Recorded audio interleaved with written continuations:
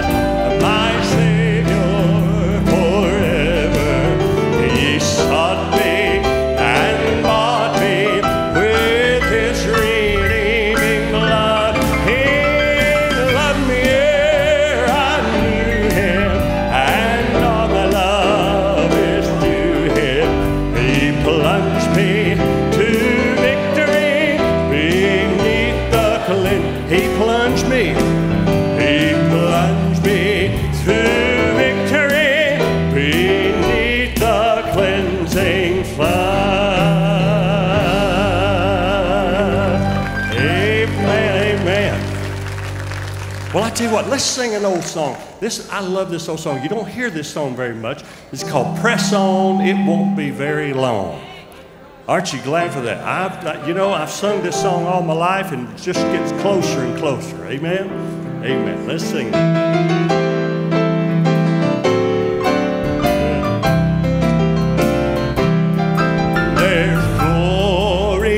my soul since Jesus took control. He placed within my heart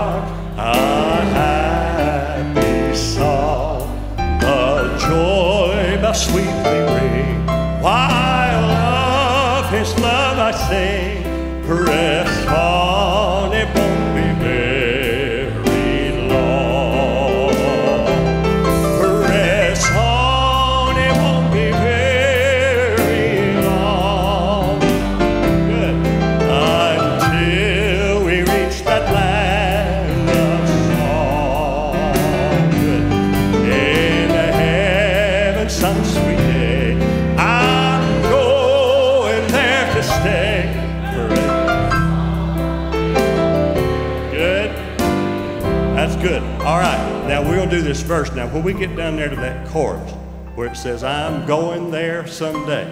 If you're going there, I want to see you. Praise the Lord. Amen. If you're excited about getting to go, amen. I'm excited about getting to go. Amen.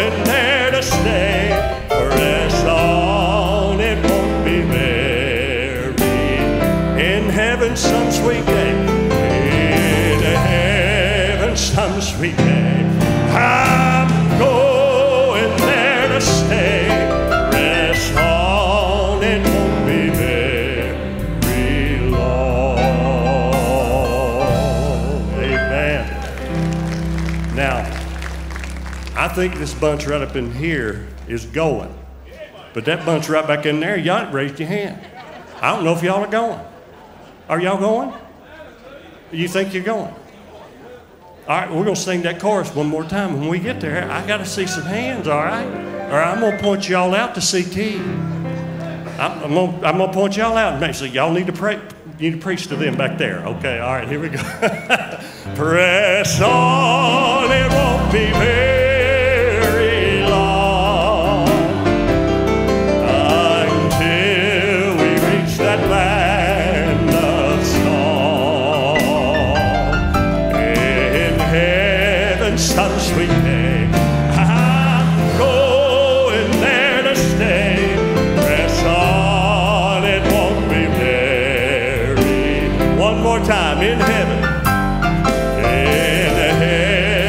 some sweet day, I'm going there to stay.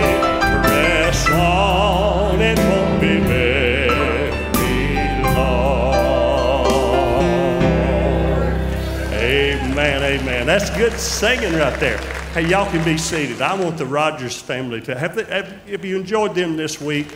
And uh, how about Miss Kim over there on the piano, Brent back there on the drums, and, and uh, Samuel playing the bass. I tell you, they've been a blessing uh, to me, and uh, I'm gonna, I'm gonna turn them loose here and let them, let them sing a little bit. You make them welcome one more time, would you?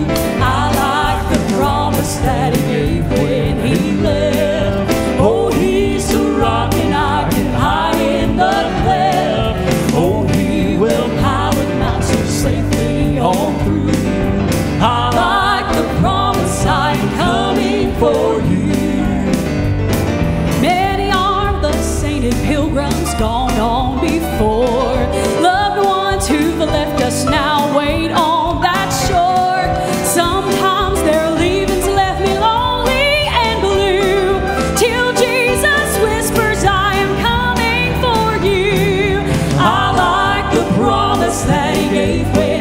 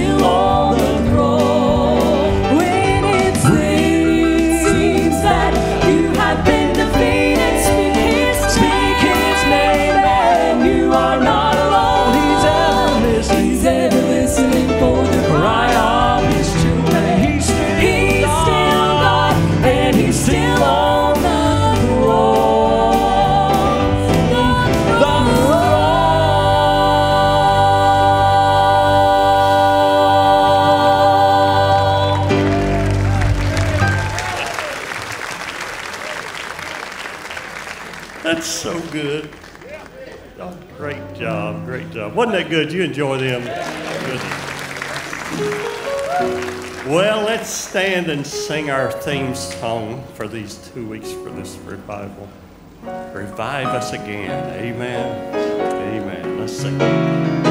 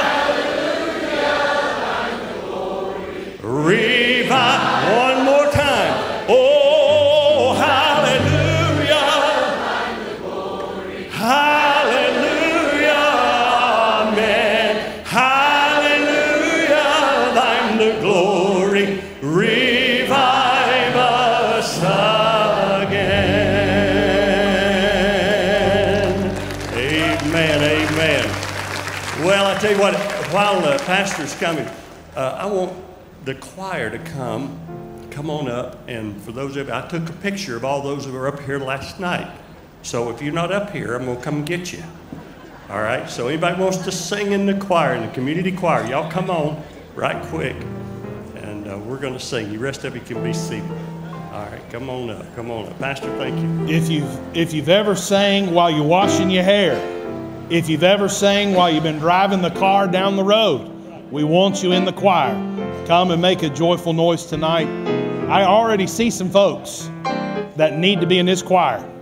If you would, come on. We need the choir full tonight. Give you one more chance. Come on.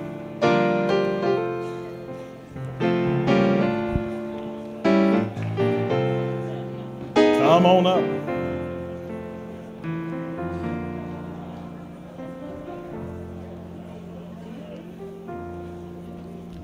We're glad you're here tonight. God bless you. Thank you for being in your place. And what a wonderful Friday night crowd. We're thankful for every person that's here, every church that's represented, and looking forward to tonight's service. It's been a wonderful, wonderful week already. God's really helped us. God's been speaking to the church. And no doubt tonight we're looking forward to what the Lord has for us. Brother Doug Guy, where are you? If you make your way towards the pulpit, please, I want you to pray to open the service tonight. We're thankful for every person that's here, for what the Lord did last night, for the nights previous. But it's not enough. Want more for what the Lord has for us. We don't want to leave anything out on the field. We've been saying that all week long. We never want it to be just another meeting, another opportunity just to put up a tent. But we want to really, really search God. And I hope and pray we've come tonight not to be spectators, but to be participants. God doesn't owe us anything. I said, God does not owe us anything. But if He'd be good to us one more time, and if it'd be His perfect will to blow through this service tonight, touch every heart and life that's here, If you're here tonight and you're lost and you're undone without Jesus, there's no accident that you're here. There's no accident that you've made your way underneath the tent tonight. I refuse, I know you do too, to participate in religious activity. We're not here to check a box. This is not a StubHub event. We did not scan your ticket when you came in. We are here tonight united under the banner of Jesus Christ, desperate for Him to do something in these days. Let's seek Him while He's near. Let's call on Him and trust Him. Let's put His words back in His mouth and expect Him to do great things tonight. Brother Doug Guy is a great prayer warrior, dear man of God. Brother Doug's been preaching since he was 14 years old.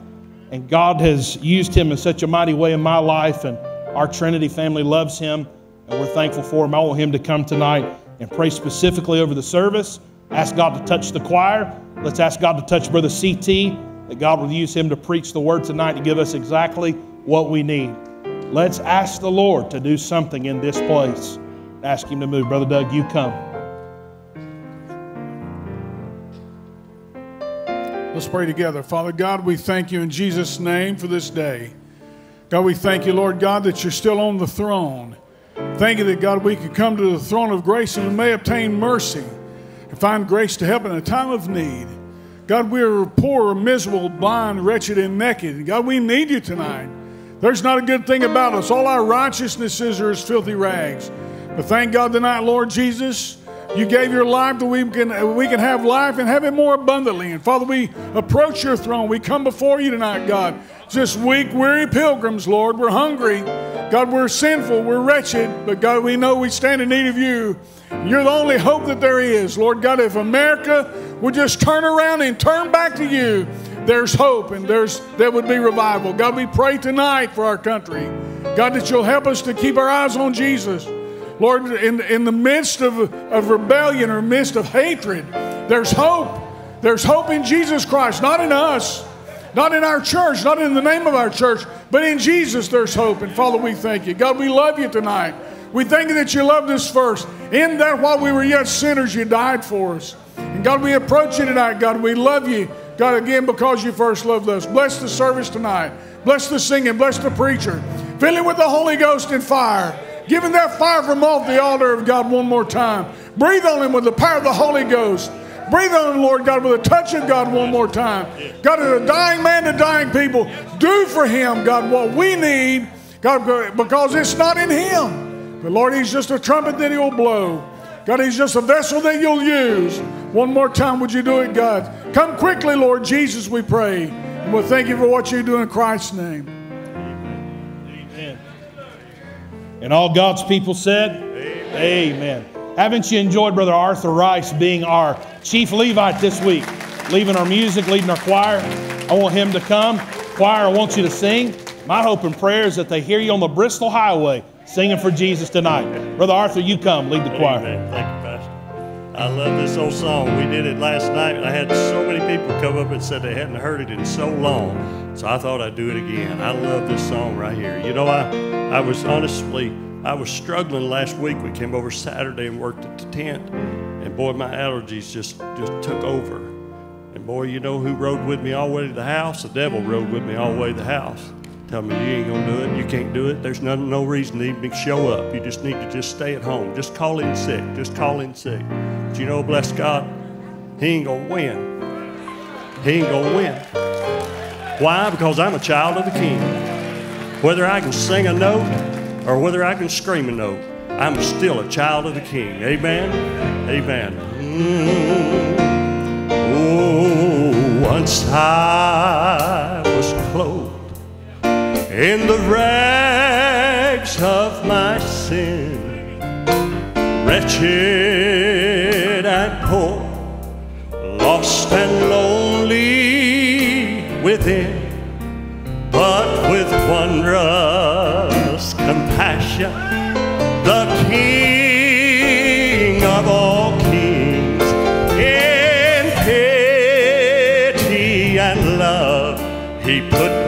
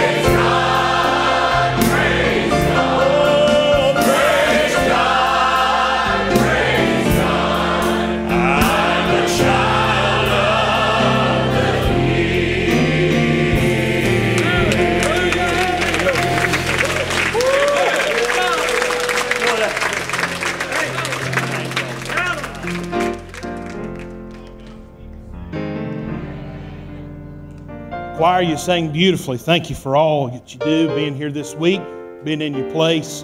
Ushers, if you would make your way down this evening. And Pastor Dwayne Dillard, if you would make your way up to the platform tonight.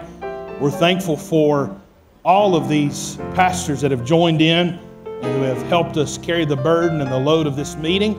And uh, we appreciate especially Pastor Dwayne taking on the position of our finance chair, taking care of everything with all the bills and keeping up with everything for this meeting. And uh, we're thankful for that legacy of transparency that we can just come in and make this about the Lord, not about a dollar or about ill gotten gain.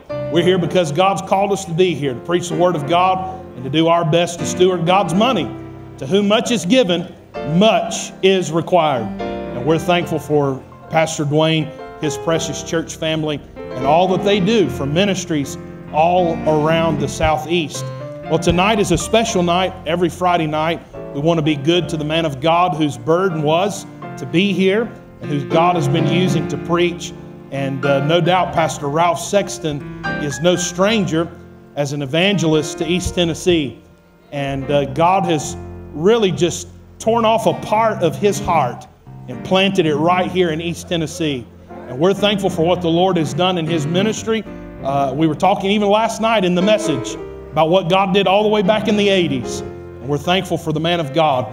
And as, as it has been for generations now on Friday night, we want to be good to the man of God. And if you can, we'd ask you to dig deep tonight. Let's really love on him, thank him for the efforts, the organization, all the many, many hours that goes into preparing a meeting like this, the, the dozens of phone calls, and uh, making sure every little detail down to the chairs, that everything's just right. If there's one thing I know about my grandfather, he believes in doing it right to the best of his ability. And uh, even if it means mortgaging his own house so that he can leave a, a city uh, with the bills paid and everything in order, I've seen him do it. And I know he's done it. And I'm thankful for his heart. He loves the Lord Jesus Christ, and he loves you. He loves your churches. I'm honored to serve with him in this ministry and uh, honored for what the Lord has done already. So let's be good to God's men tonight. No doubt the Lord will bless us if we'll bless him. Pastor Dwayne, you come, pray over the offering, and uh, give a word of testimony. Share what's on your heart. We love you. Amen. Thank you, Brother Winston. Certainly a blessing to be here uh, this week, and so thankful for what the Lord's done in this place this week. And uh, God has truly entrusted us in this area. I had the Bristol tent, and now here with Brother Ralph and uh, Pastor Winston, and and I'm thankful. thankful for you tonight, and uh, it's my heart's prayer. Just sense the Spirit of the Lord here on these grounds this week, and man of God, he has preached and preached and preached to us this week, and I'm so thankful. And one thing I do know that God loves a cheerful giver, and if we sow sparingly, we're going to reap sparingly. Uh, but if we sow bountifully, we're going to reap bountifully. And one thing I know, it'll open your eyes, just the cost of this meeting. I just appreciate these men of God stepping out by faith, and uh, they're here serving us this week. Uh, it's my heart's prayer that we just open up our hearts tonight and open up our wallets tonight and just give as under the Lord tonight. And I know He's going to provide for it all through His people. All right, let's pray. Our Father, we love you. Father, as we come tonight, Lord, we come with a thankful heart. Father, we come with a heart of adoration. We're overwhelmed by your grace. We're overwhelmed by your mercy. We're overwhelmed by your love tonight. And Father, we thank you for this opportunity. Father, you've given us to come to this place. We thank you for Ralph Sexton Ministry. We thank you uh, for his heart. We thank you for his staff. We thank you uh, for all these churches that are gathered here tonight and this week. And Father, uh, you know the needs tonight. And Father, we know that you're a great big God. And uh, we pray, Father, tonight you'll open up the storehouse of heaven. Uh, Father, pour out exactly what's needed, Father, for this meeting. And uh, not only financially, but Father, we are, as it's been said, uh, Father, our heart is tonight, Lord, that your word will go forward. And Father, you'll stir our hearts. And Lord, wherever we need to uh, move up to you, move closer to you, Father, I pray you'll deal with us and draw us. And uh, God, we'll be obedient this week. But God, we're not here for another meeting tonight. Uh, we pray for the Holy Ghost of God tonight. We pray for Brother CT as he stands tonight, as the choir stands tonight. I pray the Holy Ghost of God. I pray, Father, you'll arrest our minds and our hearts tonight, Lord. We won't be thinking about anything but what you want tonight. Father, I pray you'll bless every aspect. And it's in Jesus' name we do ask and pray. Amen.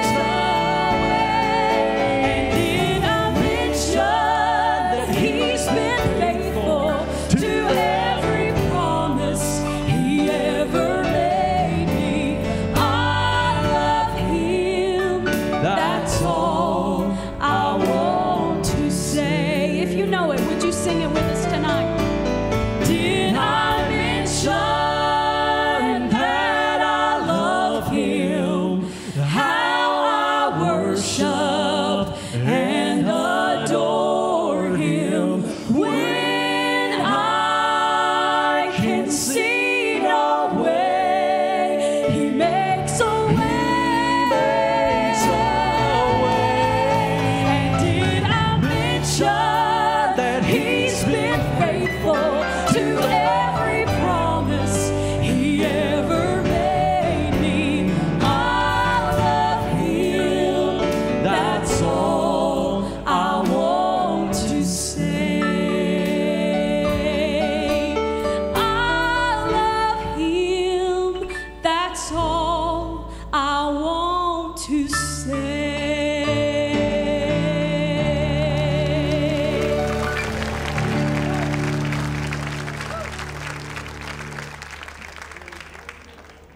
Sing that last verse again. We don't miss something. Hey, I don't know if you thought about this or not. You shouldn't even be breathing today. But God. And we get so stinking busy, we don't even tell Him we love Him. Shame on us. Time out. Have I mentioned that I love Him? Lift us up in song again. You get and your heart tender. How many sermons can be preached about this Jesus? How many songs can be sung about?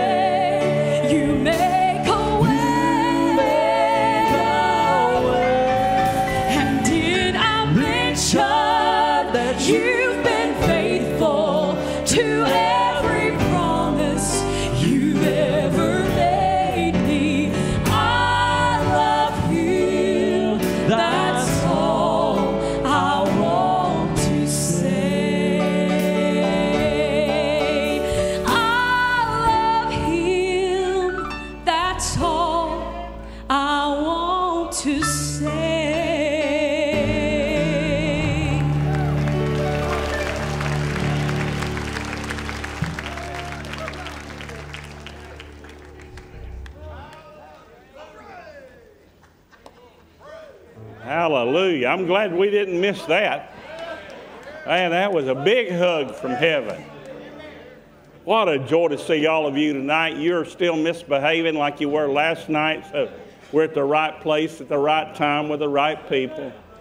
And thank you for all your love and hospitality. Brother CT and I are just so grateful that you would come to Bristol and come to Johnson City and make us feel like a part of your family and your churches. It means a whole, whole lot.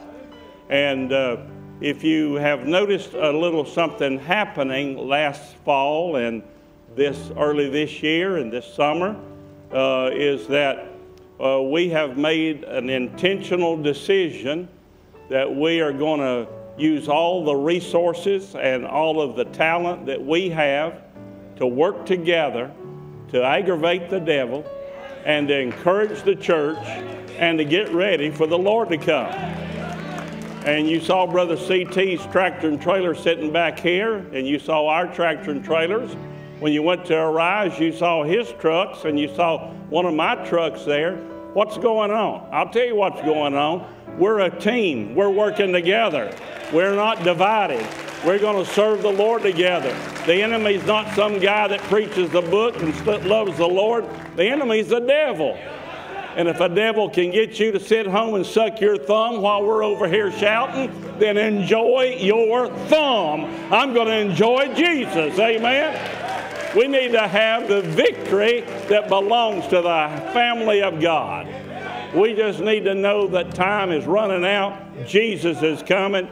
And we've been praying. I've been talking to folks in different cities today. There's the tent meeting here. There's one going on in Oxborough, North Carolina. There's others, but these are ones we've been praying for. Weaverville, North Carolina, and then at Newland, North Carolina. And uh, those are some of the guys working together out of Trinity with our good friend Ethan Green, Brother Daniel Buchanan, Heath Williams, and John Britt, and uh, Cody Roberts, and I, I think uh, his dad's up there working too, Terry Roberts. And you say, why, why are we working? Listen, if, if all of us left out of here tonight with a Bible and, and, a, and a car and started with a thousand tracts and said, We're going to spend the rest of our life till the Lord comes spreading the gospel, we can't get it done. The country's too big, there's too many people. What we need is a powerful breakthrough where God breaks in and He devastates and He sends the power. And whether it's right here in Johnson City or whether it's in one of these others, if you're on the eastern seaboard, you are within, listen to this, 500 miles of 51% of America's population. If God broke in, you could people could drive 500 miles. You can drive that in a day, and they could be here. And because I heard about what God's doing, heard about His power, heard about His presence, and that's what we're seeking. We're seeking the Lord. And you know where God's going to move?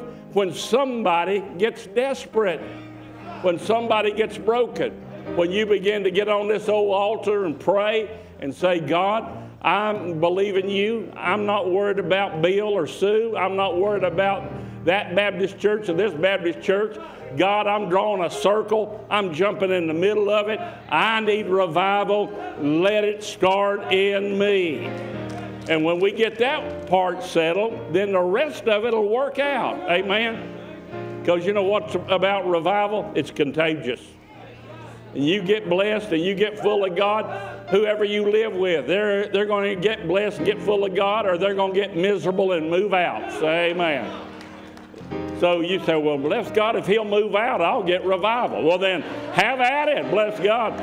Just enjoy what God's doing for the church for this generation. And so I hope you'll pray. I hope you'll ask God to do something special.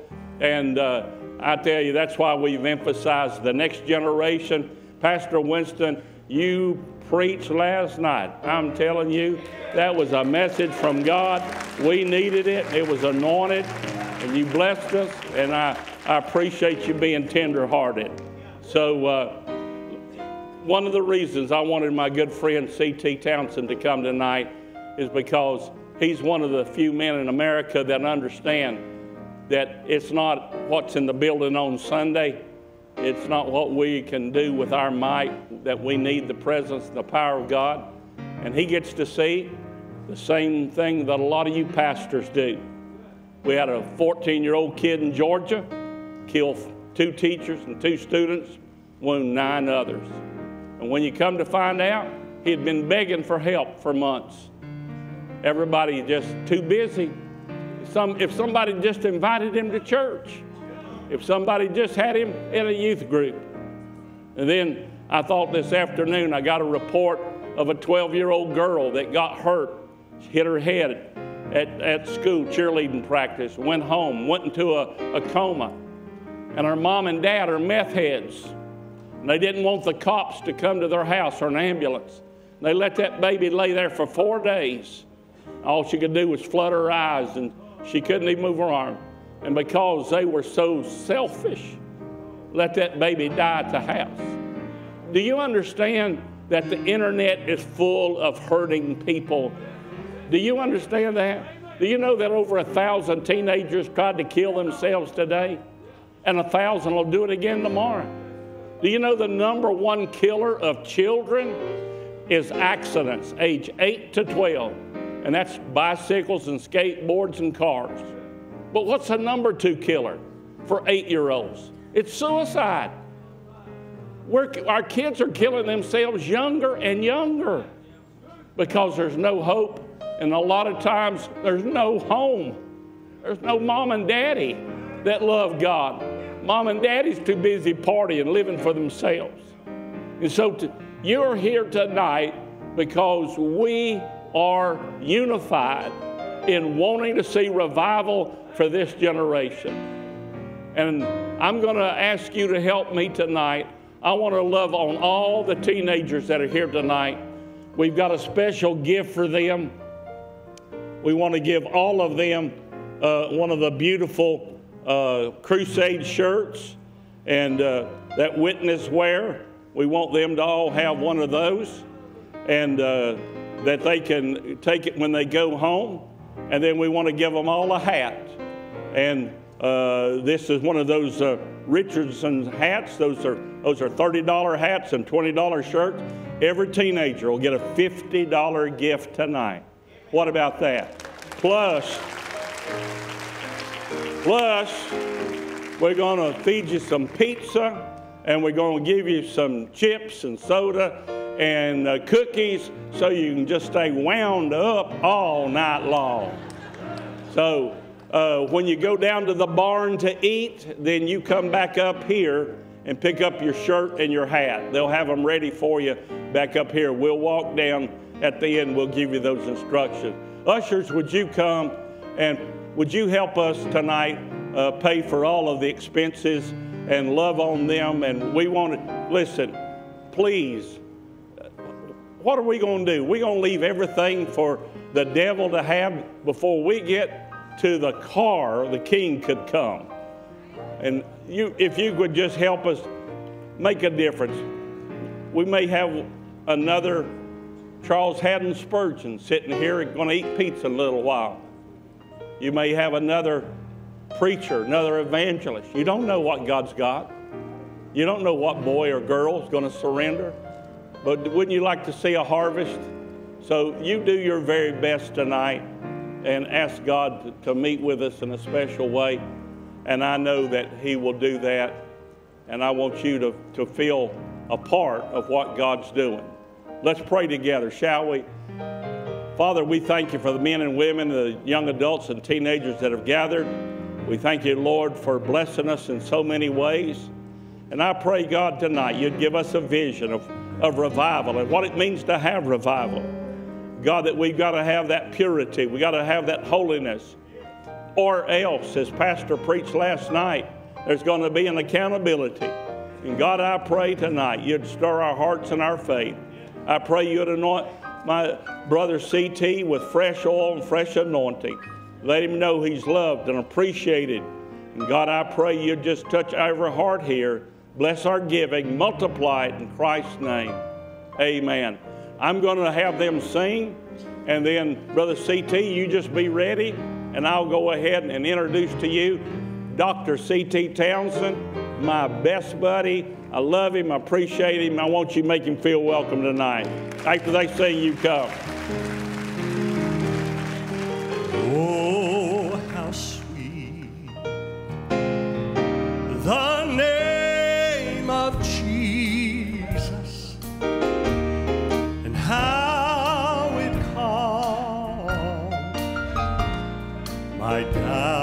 and fears, how it fills my soul with glory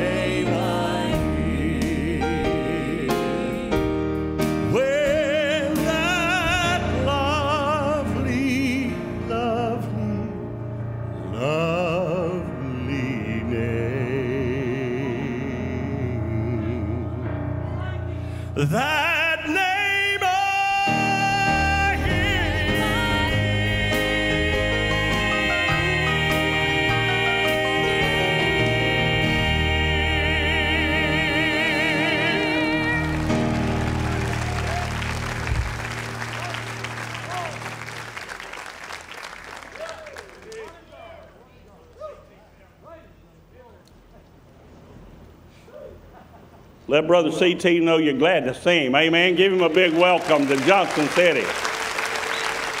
Well, what a blessing it is uh, to get to be here. I appreciate the opportunity. How many of you love Brother Ralph? I sure do. I thank God for him and his ministry in this area. And uh, I thank God for opportunities like this. I love this area. I don't know if y'all know it or not, but I think it was about 150 degrees at the bottom of the mountain where I live. And this is almost just like heaven up here. Do y'all know that? Y'all live in one of the prettiest places uh, in the whole wide world. And uh, I, am extremely grateful for the opportunity. If uh, I, brought a bunch of the uh, guys that are in our Bible college at the house with us today, if you come with me tonight, y'all stand. I want y'all to welcome all these young preachers that come with me tonight. Thank God for them. Appreciate them coming. And Tucker is here somewhere. He's probably chasing another teenage girl somewhere. Who knows where he's at? Uh, but what a joy it is to be here. Exodus chapter number eight. Exodus chapter number eight. I would invite you to find that and uh, stand to your feet all over the tent. What a beautiful, beautiful tent the Lord has given you. And uh, it's gorgeous, and I'm grateful for all that the Lord has done to all the pastors that are here. We say thank you to everybody that has worked and labored to make meetings like this happen. We say thank you. And most of all, we tell the Lord, thank you for an opportunity to serve Him in any capacity, and what a joy it is to be saved. Uh, Exodus chapter number 8 is where we're going to be tonight. Exodus chapter number 8, we'll take a look at God's Word. I'll give you what the Lord's laid on my heart, and I'll take my seat. Those of you that study your Bibles understand where we are in Exodus chapter number 8. Uh, the people of Israel have been in bondage for years and years and years and years.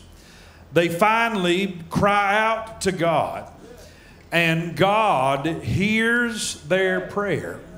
Aren't you thankful that in the midst of the bondage that we get in, that we still have a 911 that we can call out, knowing that we have a God that hears and answers our prayer.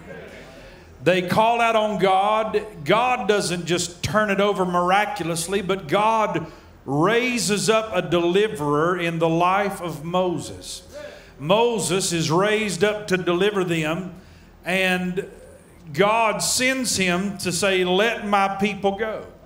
Pharaoh, who has a hardened heart, would not let the people go so the plagues come on the land to get the attention of Pharaoh to let his people go. If we're not careful, we can look pharisaical at Pharaoh and say, Why in the world won't he listen? But I would remind you that we live in America, and the question for today is what more has to happen for America to wake up and start to listen? By the time we come to Exodus chapter number 8, Pharaoh is beginning to have negotiations. That's a good word. He begins to negotiate uh, letting them go. And I want to look at that part of this text for a few moments tonight. Look in Exodus chapter number 8 and verse number 25. If you there, say amen. And Pharaoh called for Moses and for Aaron and said, Go ye, sacrifice to your God in the land. And Moses said, It is not meet so to do, for we shall sacrifice the abomination of the Egyptians to the Lord our God. Lo, shall we sacrifice the abomination of the Egyptians before their eyes and will they not stone us? Verse 27 We will go three days' journey into the wilderness and sacrifice to the Lord our God, and he shall command us. Watch verse 28.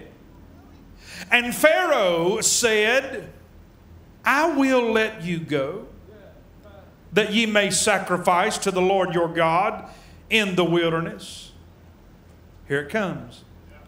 Only ye shall not go very far away. entreat for me. Father, I pray you'd touch your word. I pray, God, you'd clarify my mind, my heart, my thoughts.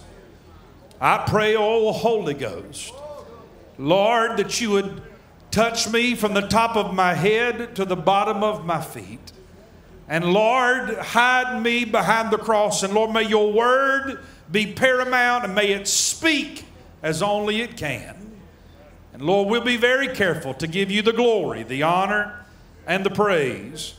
For it is in Jesus' name we pray, and all God's people said. You may be seated.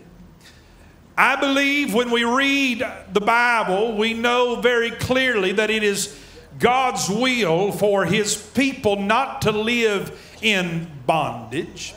We know by reading forward, we know that it's not even the, really the will of God for them to live in disobedience and a lack of faith, which would cause them to wander in the wilderness for 40 years. Uh, as a chastisement. We know that that was not even the will of God. God. God wanted them not to be in bondage and not to be running circles, but God wanted them to live in the promised land. God wanted them to live in Canaan land. God wanted them to cross the river and live in everything that God had for them. I'm preaching a series on much of that at the house. That's not what I'm going to do tonight, but but it, it, does let us dive in just a moment for the thought process of the promised land because God wants them to live over where the grapes and the milk and the honey flow and the grapes are massive and all that goes along with victory, the Canaan land and everything that God has for them. But we see that it is a journey to get to that promised land just as, and I'm going to need an amen right here, just as much as God had a Canaan land for Israel, God has a Canaan land for you. I don't care if you're an old person, let's not say old, if you're a seasoned person, or if you are young and uh, just out of the box, God has a Canaan land. God has a purpose. God has a plan for every single person you have. You say, How do you know if God has a plan for me? It makes it real easy. If you're still breathing God's air, then God has a plan for you. Some of y'all ought to say amen right there. You may not be in the prime of life, you may not be everything you used to be, but if you're still breathing, that means that God still has, hallelujah. It feels good preaching under the tent.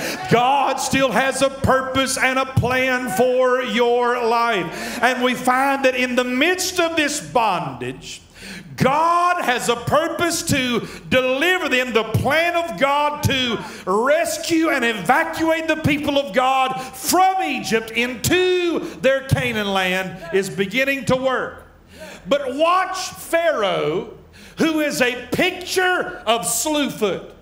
He's a picture of the devil. He's a picture of the powers of hell in this negotiating process of letting them go. And I believe we can see this negotiation process was not just in the book of Exodus, but it's happening in 2024 right before our very eyes. I want to preach on this subject compromising on your way to Canaan. How many people never get to their spiritual Canaan because they took an off ramp that the devil put right in their path that looked like a good idea at the time. I hope y'all don't mind if I preach for just a little bit tonight. All of us got to be very careful to be watchful for the compromises that will keep us from the Canaan land that is in our life. I want you to look at compromise number one. I call it a compromise of distance a compromise of distance. Watch what he says in verse number 28. He said, I will let you go, that ye may sacrifice to the Lord your God in the wilderness. Only ye shall not go very far away. Here we go. Watch. Let me teach for a second and then we'll go. The devil will say, I will let you go. Can I say this? He ain't got no say so in whether we're let go or not. The day I got saved, the devil ain't got no part, he ain't got no say. There ain't nothing the devil can do about my soul. But instead of him worrying about my soul, he wants to keep me in bondage to my old ways.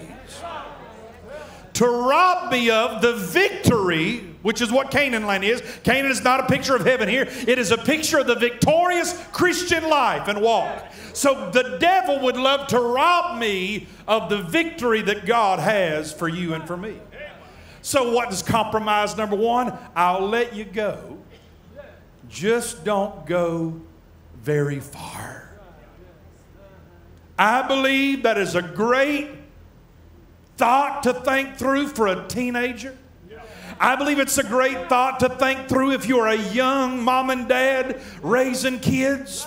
I believe it's a great thought to think through for a college student. I believe it's a great thought to think through if you're a grandparent or whatever. The, the devil would love to say to all of us, I'll let you go. I just don't want you to go very far. I just don't go very far. I've got to remind you some Bible where the book of Romans, chapter 12 and verse 1 said, uh, I beseech you, therefore, brethren, by the mercies of God, that you present your bodies a living sacrifice, wholly acceptable unto God, which is your reasonable service. Uh, When you go to thinking about compromises on the way to Canaan and not going very far, you've got to remind yourself that you are not even your own to make decisions on whether you can go very far. First Corinthians chapter number 6 and 19 said, What? Know ye not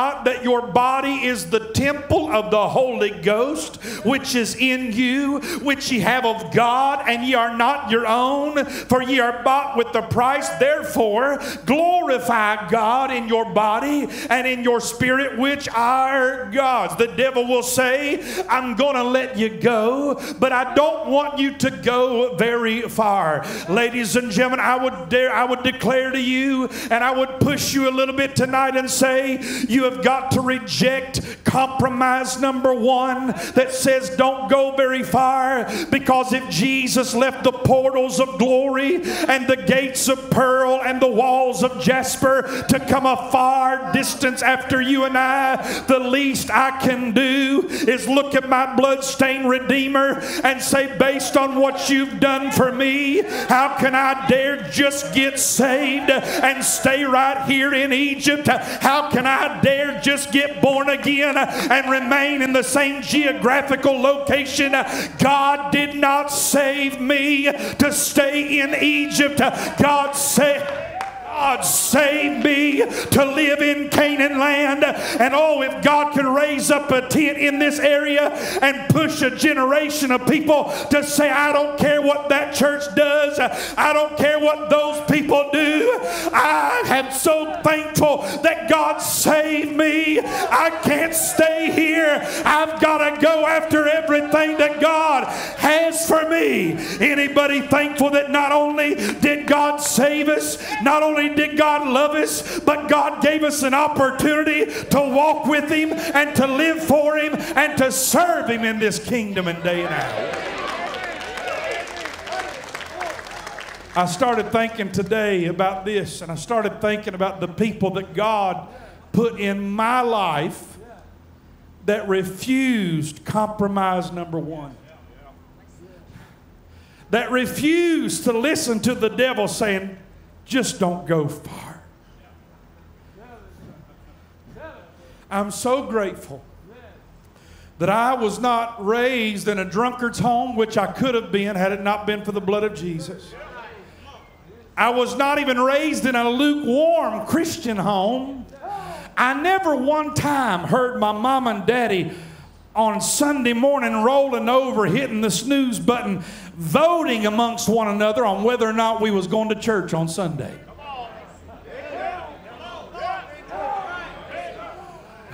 I never once heard my mom say, Are we going to the lake or are we going to church? Yeah, I told you I'm a preach. I don't remember one time where it was a real question are we going to let a CT play ball on Wednesday night or are we going to church on Wednesday night? No, no, no, no, no, no. That, that, that- that's over here. I'll let you go, but just don't go very far. I thank God that I didn't have parents that were more worried about being my friend than being my spiritual leaders and my parents that raised me in a home that said, we're not going to be Egyptian Christians. Uh, we're going to be Canaan land Christians. Uh, and that means we may have to sacrifice. Uh, that means we may not live the way everybody else in Egypt lived, but it's going to be worth it in the end. Ladies and gentlemen, you'll never go wrong putting Jesus first. You'll never go wrong putting Jesus first. I said you'll never go wrong putting Jesus first. I thank God for the people in my life that said, I'm not going to listen to that story of not going far. I'm going after everything that God has. I thought about the preachers that God put in my life. When God started dealing with my heart about being a preacher, He put a young preacher by the name of Matt who was a Nazarene. I know Baptist tells we ain't supposed to fellowship with people that ain't just like us, but in West Virginia, you either had to or you didn't know nobody.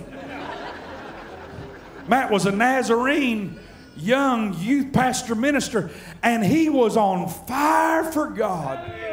And God put him in my life to be a lamp and an encouragement of somebody that refused to live over there who wanted to live. And it marked my life, it made a difference in my life.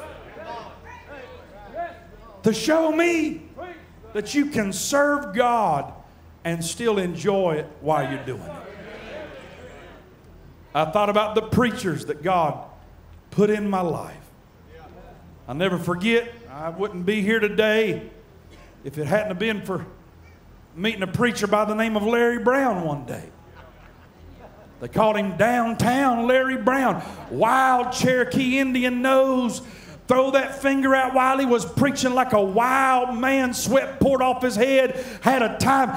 And, and God used him in my life a lot of church people, I don't know if y'all, y'all don't ever see it from this way. A lot of church people look like they've been drinking lemon juice all day long.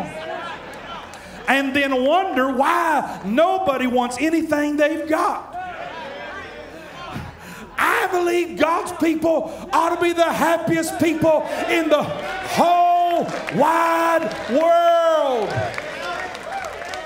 God showed me through Preacher Brown you could serve God and have fun while you're doing it.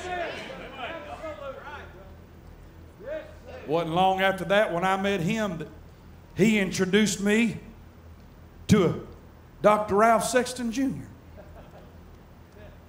He sparked in me a desire for revival and the power of God and God doing more than what He can just do on a Sunday, but God can do amazing things. And I, I think about the influences that I would not even be here tonight if it hadn't have been for people that stood and said, I refuse to compromise and stay right here.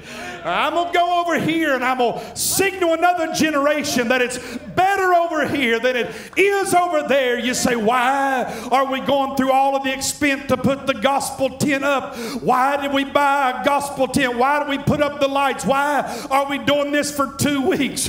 Because God has sent you a man of God to this area one more time to stand on the banks of Canaan, on the Jordan, and say, it's all right to leave Egypt. You don't have to keep your family on that river bank. You can bring them to the, anybody with me tonight. You don't have to stay over there, but you can come on over here. I'm telling you to tell preachers, uh, you don't have to stay in a lukewarm religion, uh, but there's the power of God uh, and there's the presence of God. You don't have to get up and sing and worship like you in a funeral home every Sunday, but you can have joy, you can have power, you can have peace, and serve God at the same time. Enough of dead, dry religion. We need the power of God. We need the presence of God one more time to flood through our churches, uh, to wake our people up and see God do something one more time. A compromise of distance. I'll let you go. Just don't go very far. Only you can answer this question tonight. But which side are you on currently? Are you living, enjoying, basking over in your Canaan land? Or are you still over here, as Pastor Ralph would say, dating Jesus on Sunday and living for the world the rest of the week? There's no joy here. There's no peace here. There's no power here.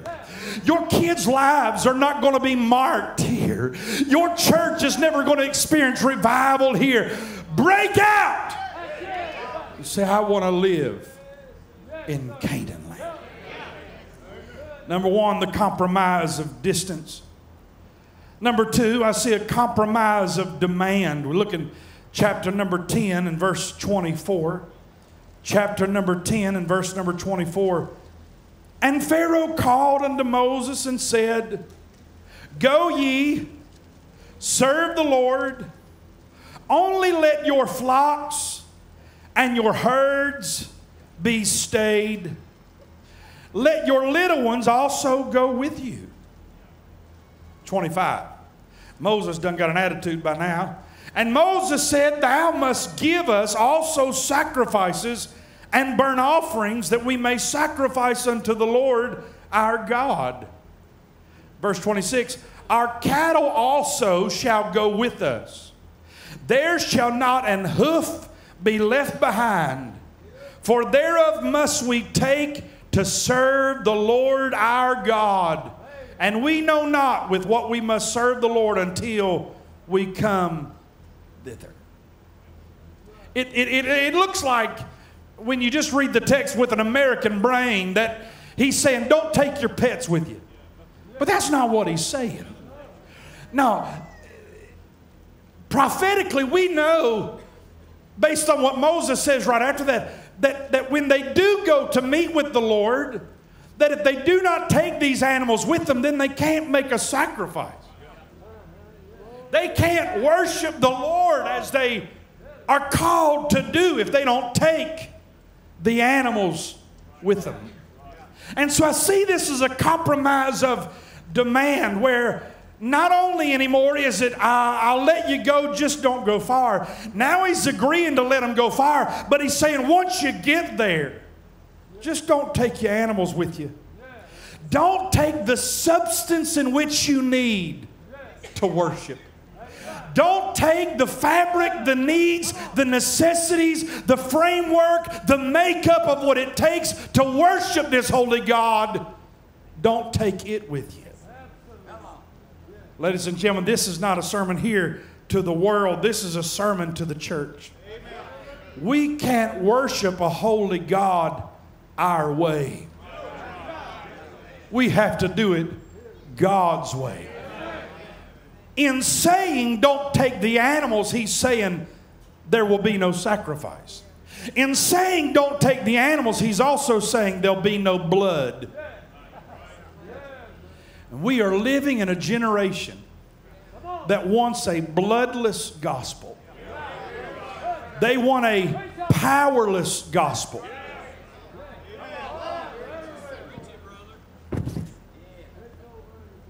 They want a lukewarm, watered down, scratch my ear on Sunday, make me feel good about myself, as long as it give me a little pep talk, give me a little motivational speech, make me feel better about myself, make me smile, give me three steps to be a better this, a better that, give me four things I can write down. I'm never going to do them, but it makes me feel better if I write them down in my journal. That kind of religion. But, ladies and gentlemen, we did not get where we are by that kind of religion, watered down religion religion, powerless religion, and we're not going to get out of the bondage we're in that way. We can't have Burger King religion, have it your own way. I still believe we have the inerrant, infallible Word of God. It is God's mind on paper, it is a perfect Bible, it's an inspired Bible, it's an inerrant Bible.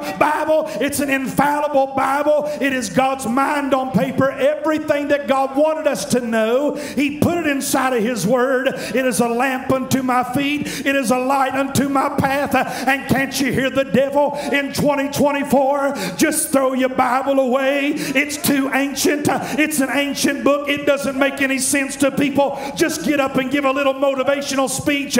But, ladies and gentlemen, it always has been the Word of God, and it always will be the Word of God. And if you're going to get out of Egypt and go into Canaan, this Bible is the roadmap to get there. This Bible is the roadmap for your family. This Bible is the roadmap for your church. I would love to go to Washington, D.C. and say a Republican can't fix it and a Democrat can't fix it, but hand them a King James Bible and say this Bible could fix every problem, every issue, because what God said is right is right, and what God said is wrong is wrong. I believe the Bible still gets the job done. The Word of God. Can't you hear the devil saying, just leave this behind? Don't take that with you. Don't, don't take that with you. It don't matter. Can you hear the devil in the hour in which we live? Here's something I hear pretty regular on comments and when you talk to people. Oh, I know what y'all preach, but me and Jesus got a good thing going on. I don't have to go to church to be saved. I thank God for online. I thank God there are people that are sick and can't get out of the church, can't get out of their house. I'm thankful for them. But if you're so sorry and you can go to Target, you can go to Walmart, you can go everywhere else in the world, but you can't get your sorry self up and get in the house, there's something bad wrong. God instituted the local New Testament church. It's a lighthouse. It's a soul saving station. There's been times when I didn't know how I was going to make it. There's been times when I didn't feel like putting one foot in front of the other. There's been times when the world and the flesh and the devil had gut punched me and I didn't think I could go another mile only to walk in God's church and then the people of God would start singing the songs of Zion and something on the inside the little wheel would turn the big wheel and the preacher would open up the Bible and it didn't matter if he was in Genesis or Revelation something would go to stirring on the inside you say what happened God's design for his travelers in this generation is the local New Testament church. He don't want you to be isolated. He don't want you to be alone. But he gave us the church and gave us a promise for the church that the gates of hell, well, I feel like preaching now, that the gates of hell shall not prevail. I don't care what happens to America. I don't care what happens to the economy. I belong to the church and the church is going to keep marching on because we have a promise of God that the church will continue on. I thank God for the blood of Jesus. I hear them all over the place. Oh, don't sing those songs about the blood. I read one pastor's magazine years ago. It said, The blood will warp the minds of a younger generation. I thought, my God, their minds are already warped. Look, they don't even know which bathroom to go to. They're so confused, they're out of their mind. And the only answer for that generation and that kind of confusion, what can wash away my sin?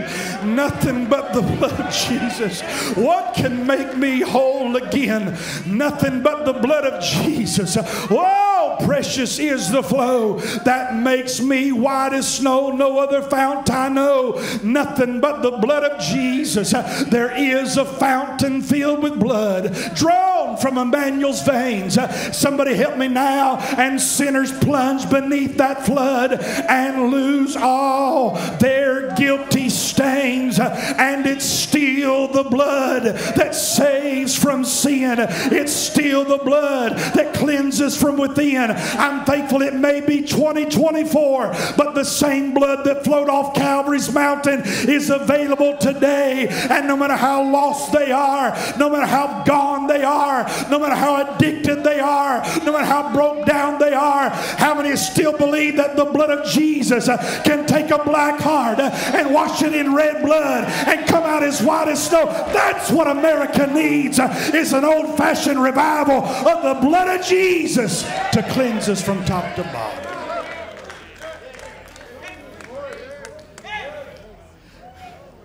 I still believe in real heaven sent Holy Ghost spirit filled non show worship.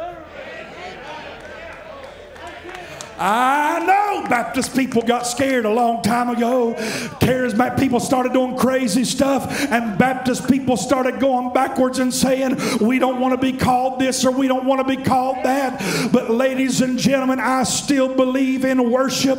I still believe that worship is, is plausible. I believe it's recommended. I believe it ought to happen. I believe we ought not be looking for it not to happen, but we ought to pray for it to happen. There is nothing in this world. I've been to Six Flags. I've killed big bucks. I've caught big fish. I've done great. I've seen my children born. But I dare say inside my own soul that nothing has ever done it for me like being with God's people when real Holy Ghost worship breaks out and the glory of God fills a room. When the glory of God comes in and they are sit so thick they can't even minister. Oh God, don't let us lose that. Oh God, don't let us compromise that. I want my children's children to still know what the real glory of God is. Every now and then at church, it don't happen every Sunday. It don't happen every month, but every now and then down at the church, the choir will get to singing Miss Rue, and the glory of God will go to stirring around. My little old mama sits on the second row behind me. She's dealing and helping my cancer ridden daddy inside that home nearly 24 hours a day, every single day, serving him and helping him. And the only help she gets, the only escape she gets, is for that little hour and a half, sometimes two hours on Sunday morning. And many times in the last few months, I've watched my little beat up mama, my struggling mama, my depressed mama come inside that church house and sit on that second row. And Becky go to singing with the choir, and the glory of God goes to moving. My mama ain't no loud shouter, but she's got her a hanky. And mama get on that second row, and she'll go to waving that hanky. And y'all better watch out because in the few times when the glory of God does come, my mama get out of her seat, and you can watch her as she begins to imagine what life would be like if it hadn't been for Jesus. And mama go to waving that hanky and walking around that church. You say, does that embarrass you? No, it don't embarrass me. I say, have yourself a time, mama. Enjoy it, mama. That's what God gave you to escape the troubles of this world. That's what God gave us. No matter how broke down you are, well, glory to God.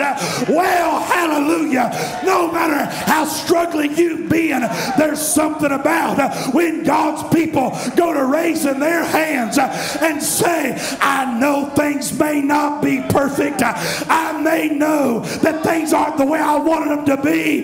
But when I look at how good God's been, and when I look at how faithful God has been, and I think about the fact that I'm saved and can't go to hell, how in the world can I stay depressed? Oh, that God's people one more time would say, I refuse to let the devil steal my joy.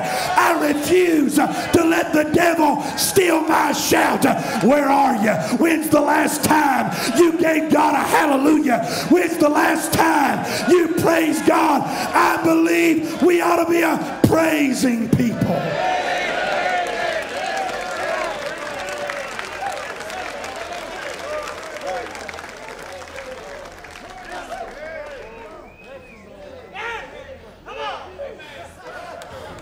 Oh, yeah. I hear the brethren. I hear the churchy. Brother Townsend, I'm, I'm, I'm quite thankful that you, that you act that way, but that's, that's just not my style. Yeah. I, if I give you, I really did plan on coming. I told the boys I'm tired, been working all week. I'm gonna preach 25 minutes and we're going home. I thought I'm gonna be sophisticated behind the pulpit. My shirt tail wasn't gonna get untucked, but something goes to moving on the inside of me when I think about how when I think about how faithful he's been, when I think about how good he's been, and I know church people would say, "Oh, Pastor, that's good and all, but I just don't think it's really in order to make all that noise." Lean in, let me ask you a question. How come it's okay when they do it at the football field? How come when your boy hits a home run on the baseball little league team, you're up on your feet shouting? But it's how come when you watch your little girl do a little cheerleading stunt, you're clapping and having yourself a time? But when we come in the house of God, it's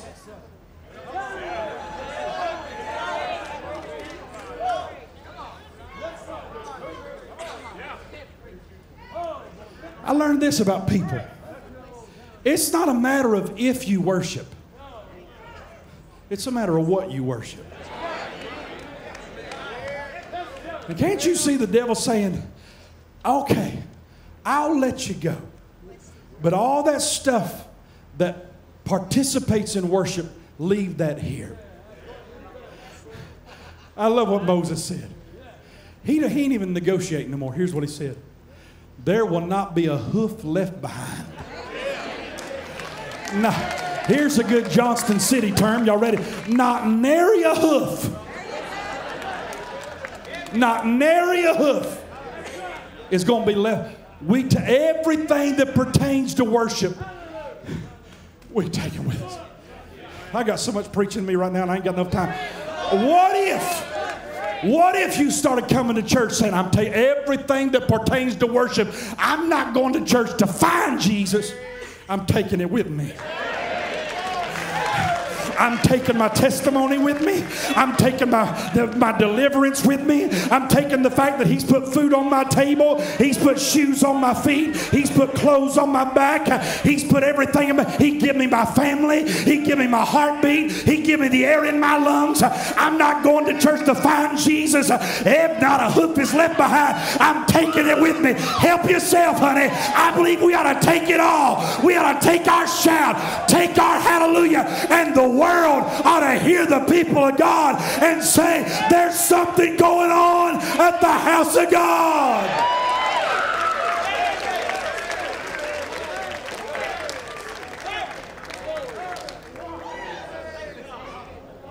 Some of y'all would scare your preacher to death. But I say, scare him. You'd find out they'd preach a little bit better if you'd help them.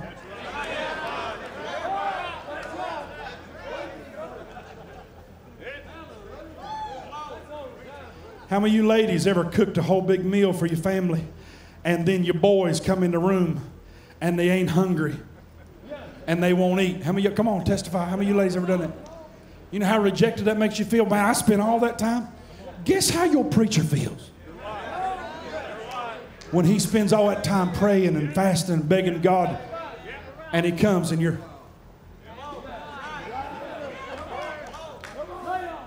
The only song you sing is. I shall not be, I shall not be moved. I shall not be, I shall not be moved. I got Tucker with me. I don't. Where's Tucker at? He's he here somewhere. He's out smoking somewhere. Y'all pray for that boy. I was up somewhere in these mountains several years ago. Tucker was little, And I was in one of these kind of churches I'm preaching about right now. Dry as cracker juice. Nothing stirring, nothing moving. I get up there to preach, and I'm giving it everything I got, trying to reach sinners, encourage that pastor. They wasn't, I bet they wasn't 15, 20 people in that church. I was giving it everything I had. Tucker been doing this traveling stuff with me since he was three weeks old. And he, I remember seeing him on the front row, he was fidgeting, and, and I seen he kept looking around. And Tucker realized in the middle of my preaching, I'd done everything I know to do. And Tucker realized, Daddy's in trouble tonight. Daddy needs help. Tucker goes to look around. He'd look back there and he'd look at me. I'll never forget it as long as I live. Old Tucker jumps up on the front pew of the church and looks at me while I'm preaching and claps his hand and says, Good preaching, Daddy. Amen. I'm not going to stand up on these brand new chairs, but he, good preaching, Daddy. Amen. And then he went like this.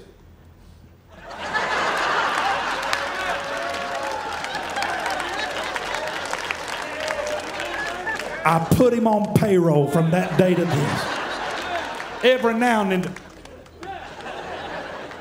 But you know, I've wanted, I can't tell you how many times I've wanted to walk in churches and, and see people staring at the carpet and looking at the ceiling, and I, I want to be a, Hadn't God been good to you? Hadn't God put shoes on your feet? Hadn't God put clothes on your back? Didn't Jesus save your soul? Let the redeemed of the Lord say so. And can we, for about 10 seconds, uh, can we give God praise under this tent for being good to us and being faithful to us and being a one? He's been a good Savior.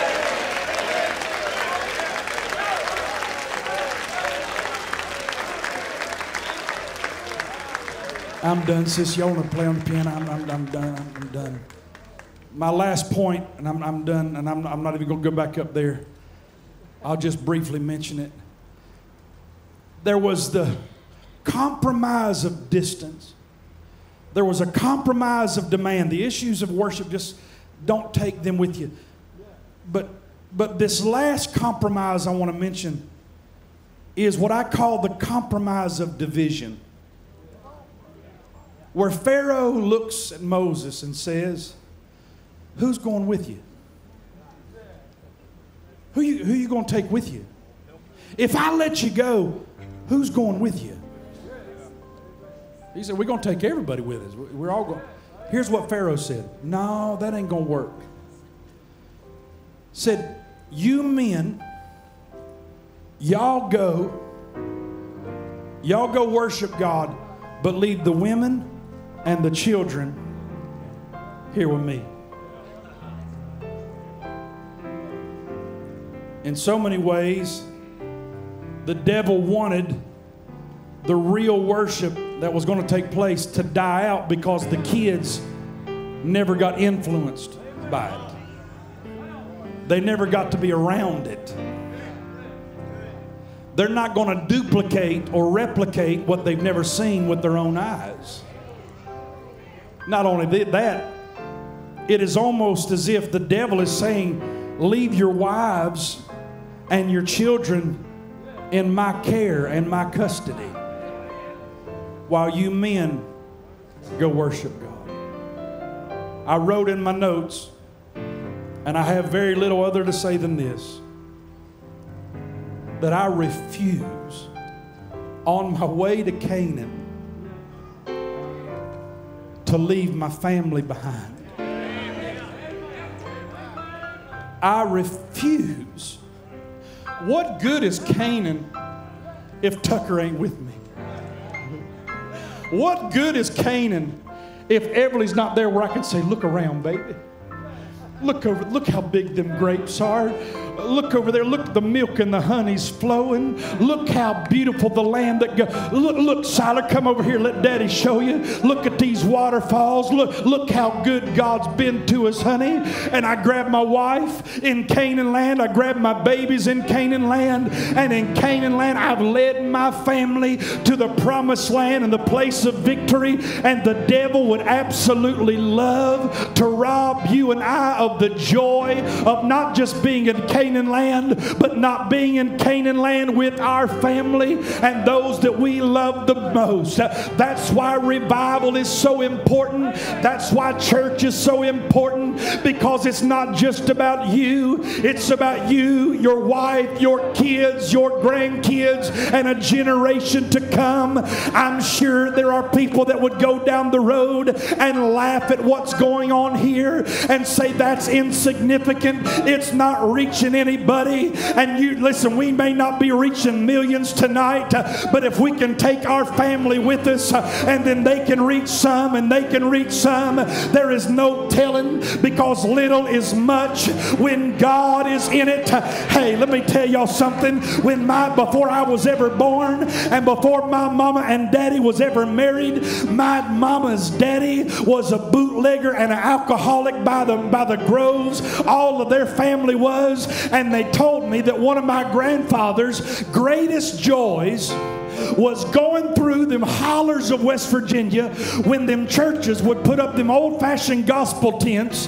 And they said my grandpa and his buddies would get stone drunk and they looked for these tents. And in the middle of church, my grandpa and his buddies would go around and they would cut the cords of the tent while they were in there having church, and the tent would fall in on them people having church.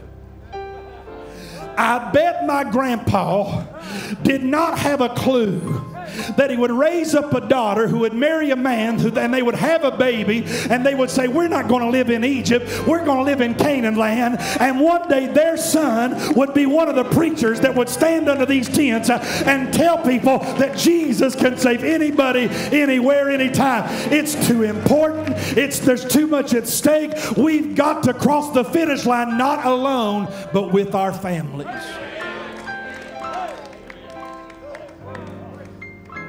I've got a 14 year old, I've got a 10 year old, and a 9 year old. And I'll be very honest, they are my life. They bring me. Becky laughs at me because I can watch my kids eating eggs and sausage in the morning and enjoy it. And I'll sit there with tears running down my cheeks just watching my kids happy about food. I just love seeing them happy. The joy in my life has been dragging my family up the road and down the road and watching them get in Holy Ghost meetings and enjoy the presence of God. Why do you bring your kid on a Friday night when the rest of his friends are at a football game? Because I want my kid to see Canaan land, not Egypt.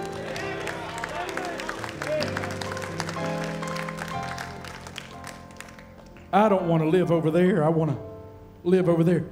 And I got to refuse the compromise that the devil offers of just going alone. How many preachers have sacrificed their kids on the altar of ministry? I tell my church all the time with God's help, if they ever make me choose the church or my family, they won't win because my first ministry is the babies that God gave me. It's vitally important, not how loud I can shout or how good I preach or sing, but that I grab my kids hand in hand and say, Come on, follow daddy. The world behind me, the cross before me. Though none go with me, still I will follow. I have decided to follow Jesus. No turning back, no turning back, no turning back. Because we don't want to live in Egypt, do we? We want to get in Canaan land and be there with our families and be there with our babies and enjoy the goodness of the land for the glory of God. If you are a teenager here tonight, we're glad you're here. It's youth night. And I'm encouraging you not to live in Egypt, but to live in Canaan. If you're a young family, I'm here to encourage you. Every part of Egypt you're still embracing, leave it behind and run towards Canaan. If you're a church member, a preacher, a pastor, an evangelist, a missionary, let's set our souls and our GPS. We want to live in Canaan land. And we want to take our babies with us. Hey, Grandma, hey, Grandpa, don't lose your burden to pray for them grandbabies to go to Canaan land. If you don't pray for them, who will? Hey, mama, hey, daddy, you may be a little bit discouraged while I preach that because your kids are not hand in hand with you going to Canaan. Can I encourage you not to give up praying for them?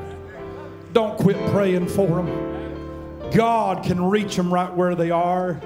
Hey, preacher, that church, your pastor may not feel like Canaan. Them people may not be headed towards Canaan, but don't give up praying. Don't quit preaching. There's a Canaan land that's just around the corner. Let's go after it and reject every compromise that the devil puts in our way. I've been tuning in online. Y'all have heard some great preaching. They've done an amazing job. But here on this Friday night, I wonder how many from the back to the front would find a place around these old fashioned altars and say, Lord, with your help, with our kids hand in hand, we want to go to Canaan. I want as many mamas and daddies to grab your kids by the hand, and I want y'all to be first. And you are coming to pray, but you're also making a statement. We're not going to live in Egypt. We're going to Canaan. Your kids need to see you lead them to that grandmas and grandpas, if you got your sons and daughters here, I want you to go get your whole family, get them around an altar. Maybe a pastor, get some of your church members, find a place around the altar and say, Week number one, we're going to solidify that there is a Canaan land ahead of us. And we want to live in the victory that God has for us. They're going to sing a song of invitation. Brother Ralph's going to handle the rest of the uh, invitation time all of us stand to our feet all over the tent. Let's be tender to the Holy Ghost. You come.